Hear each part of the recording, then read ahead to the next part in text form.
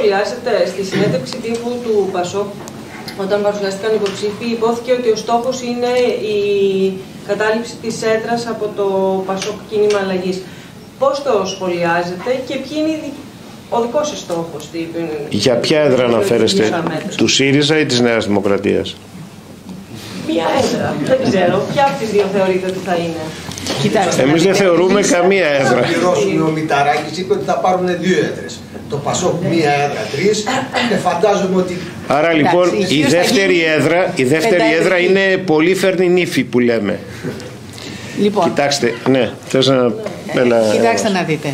Εμείς είμαστε σίγουροι ότι οι πολίτες του νησιού μας θα μας τιμήσουν για το έργο που έχει κάνει ο ΣΥΡΙΖΑ όλα αυτά τα χρόνια στο νησί και για κάθε έναν προσωπικά, για κάθε πολίτη που είχε οποιοδήποτε πρόβλημα και πιστεύουμε ότι θα, στις εκλογές θα έχουμε μεγάλη επιτυχία και ο, ο, η έδρα θα είναι σίγουρα θα ανήκει στο ΣΥΡΙΖΑ. Τώρα ποιοι άλλοι θα πάρουν έδρα είναι δικό τους θέμα. Εμείς με τη βοήθεια των πολιτών πιστεύουμε ότι θα είμαστε αυτοί που θα πάρουν έδρα. Δεν ξέρω αν κάποιος άλλος θέλει να πει κάτι άλλο. Ευχαριστώ. Τι να σχολιάσω. Δεν, δηλαδή... Να συμπληρώσω λίγο την ερώτηση. Α, ναι, αν θέλετε. Το 2019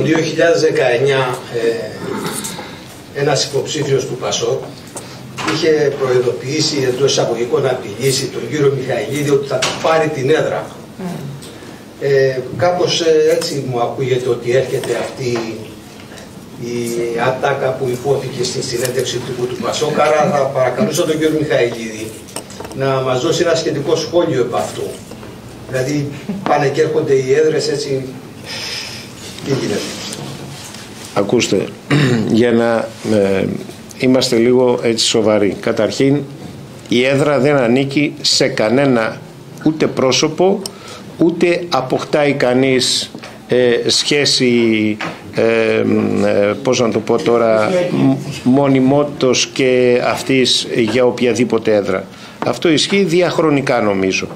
Την έδρα, τις έδρες μάλλον τις κατανέμει ο λαός με την ψήφο του και επομένως ε, αυτή η παθολογική σχέση την οποία αναπτύσσουν κάποιοι με την έδρα ή την ανάκτηση της έδρας κτλ ε, για μένα έχει λίγο έτσι χαρακτήρα ε, να πω και λίγο έτσι μια ψυχολογία ενδιαφέρουσα.